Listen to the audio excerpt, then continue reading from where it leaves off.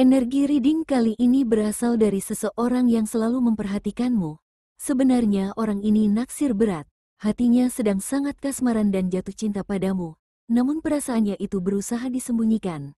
Dia tidak mau menunjukkan emosinya. Kepada siapa pun dia berusaha menyembunyikan perasaannya, namun beberapa orang yang dekat dengannya tahu jika orang ini sedang jatuh cinta. Jika kamu berada di dekatnya, Orang ini segera memasang wajah dan sikap yang kosong seolah-olah kehadiranmu tidak memberi efek apa pun. Orang yang sedang naksir berat padamu ini mengira gerakan menyembunyikan perasaannya tidak akan terlihat. Padahal dari kegugupan atau perubahan tiba-tiba yang dilakukannya sudah menunjukkan rasa sukanya padamu. Bahkan jika orang ini mengatakan tidak menyukaimu gerak-geriknya mengatakan sebaliknya. Misalnya wajahnya menjadi merah, atau sikapnya tiba-tiba kikuk, gugup dan gelisah karena dia benar-benar berusaha menutupi perasaannya padamu. Insecurity yang ada padanya sangat besar karena orang ini memandang kamu memiliki keistimewaan lebih daripada dirinya. Walaupun kamu tidak yakin dengan perasaannya padamu, tetapi beberapa kali kamu bisa menangkap atau merasakan rasa sukanya, apalagi jika kamu memperhatikan sikap beberapa orang yang berada di circle-nya. Begitu sukanya dan penasaran denganmu, orang ini sering sekali memperhatikanmu dari kejauhan baik secara langsung atau melalui media sosial. Orang-orang yang berinteraksi denganmu juga menjadi perhatiannya. Kadang-kadang rasa cemburunya memuncak saat melihat kamu berbicara akrab dengan lawan jenis, atau melihat banyak yang menyukai status atau foto yang kamu upload. Dia juga gampang tertrigger saat membaca kata-katamu atau membaca komentar teman-temanmu. Tetapi dari sering memperhatikanmu itulah, orang ini menemukan banyak hal baru yang selama ini tidak menjadi perhatiannya. Pemahaman atau pembelajaran tentang emosi antara pria dan wanita mulai dimengerti. Pembelajaran tentang kehidupan ini juga semakin mendalam pada dirinya. Orang yang sangat menyukaimu ini melihat kamu adalah orang yang berusaha berubah menjadi lebih baik. Masa lalu berat yang pernah membuatmu bersedih tidak menjatuhkanmu. Kamu justru belajar dan bangkit kembali walaupun banyak sekali rintangan yang harus kamu hadapi. Orang ini bahkan merasa tidak akan mampu menjalani cobaan kehidupan yang pernah kamu jalani. Jika dulu orang ini sering menghakimi orang lain, Sejak mengenalmu dia menjadi lebih luas memandang segala sesuatu. Misalnya dalam mengamatimu, dia tahu keputusan apa pun yang kamu ambil untuk hidupmu pasti berdasarkan pengalaman masa lalu. Kamu terlihat benar-benar melepas masa lalu dan terus berusaha memperbaiki hidupmu. Mungkin kualitas dirimu itu yang menjadi salah satu sebab orang ini tidak berani memperlihatkan rasa sukanya. Tetapi semakin lama rasa sukanya berubah menjadi keinginan mengarungi hidup ini bersamamu. Semua nilai dan pemahaman yang kamu miliki ingin sekali digabungkan dengan pemahamannya. Pengalaman hidup yang sudah dilewati orang ini juga tidak mudah. Beberapa luka dari masa kecil atau dari masa lalu bersama orang lain meninggalkan bekas pada dirinya. Tetapi sejak mengenalmu orang ini merasa mulai mengerti tentang menyembuhkan hati sendiri. Dia akhirnya paham bahwa hidup ini tidak boleh berhenti di tempat, jiwa harus terus tumbuh, dan hanya bersamamulah orang ini ingin tumbuh sampai menua. Beberapa yang menyimak reading ini dan merasa resonet tampaknya sudah pernah berkeluarga dan sudah memiliki anak. Perjalanan hidupmu membentuk kepribadian dan caramu berpikir. Apa pun yang kamu lakukan atau apa saja gebrakan yang kamu tunjukkan pada dunia luar membawa dampak pada orang yang menyukaimu ini.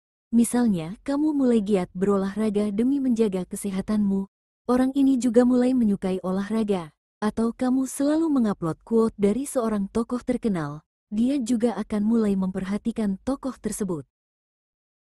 Sama sepertimu yang menjadikan pengalaman masa lalu sebagai pembelajaran hidup, orang ini juga mulai seperti itu. Kemandirian, ketenangan dan kedamaian yang berusaha kamu bentuk untuk hatimu adalah nilai yang paling disukainya. Jadi, walaupun pengalaman hidupmu di masa lalu dinilai negatif oleh sebagian orang, tetapi orang yang sangat menyukaimu ini melihat kamu sempurna untuknya. Kamu mungkin tidak tahu tentang perasaan sukanya yang mendalam, karena energi orang ini terbaca sedang berusaha sekuatnya mengendalikan dirinya sendiri. Jika kamu sudah melewati badai kehidupan dan mulai memasuki fase reda atau bahkan sudah memasuki fase melihat pelangi, sebaliknya orang yang menyukaimu ini baru mulai memasuki fase pembelajaran awal, dia bahkan baru mulai memahami makna mengapa harus melalui badai kehidupan di masa lalunya. Padahal dulu bab sedih di masa lalu itu selalu menjadi fokus dalam hatinya, sebelum terkoneksi denganmu bab sedih di masa lalu tidak menjadi bahan bakar untuk berkembang. Dulu dia selalu menjadikan bab sedih dalam hidupnya sebagai kenang-kenangan abadi tanpa menarik hikmah di dalamnya. Dari kamu orang ini belajar menjadikan bab kesedihan sebagai bahan bakar untuk tumbuh berkembang. Sifat orang ini ambisius. Jika fokus pada sesuatu dia akan fokus pada hal itu saja. Itu sebabnya dia selalu memperhatikanmu dari hari ke hari. Namun di masa lalu sifat ambisius itu menggiringnya menuju jalan yang salah. Apalagi di masa mudanya dia tidak mempertimbangkan segala kemungkinan saat memutuskan. Logikanya lebih sering menuntun dalam memutuskan sehingga hati nuraninya tertutup.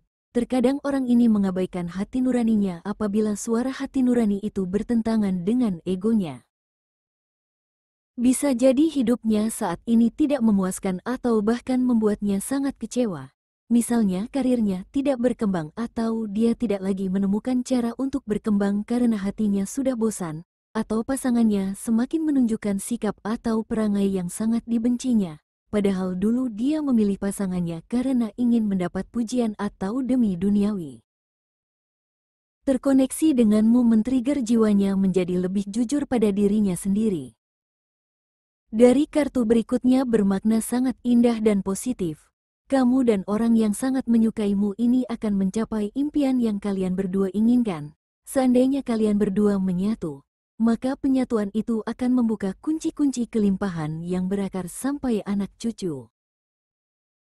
Namun dari kartu yang keluar ini menunjukkan harus ada usaha yang kontinu dan dibutuhkan kesabaran untuk menggapainya, termasuk keinginan untuk mencapai penyatuan dibutuhkan usaha yang penuh kesabaran. Jika kalian berdua memilih jalan sendiri-sendiri, koneksi ini adalah jalan dari semesta yang memang ditujukan untuk saling men-trigger agar kalian berdua membuka nilai-nilai kebaikan dalam diri. Dari koneksi ini saya membaca pesan bahwa berburuk sangka karena penderitaan tidak bisa menyatu harus dihilangkan. Karena kalian berdua saling membutuhkan untuk men-trigger kesembuhan dan pertumbuhan jiwa, di mana kesembuhan dan pertumbuhan jiwa akan membuka kelimpahan dan kemakmuran. Jika orang yang menyukaimu tidak bisa menemukan cara untuk menyatu denganmu, maka memang sesulit itu kondisi tiga dimensi yang harus dihadapinya. Begitu juga yang kamu hadapi. Pemahaman seperti ini akan kamu pahami seiring berjalannya waktu, atau saat kamu sudah bisa mengakses energi kelimpahan dan kemakmuran.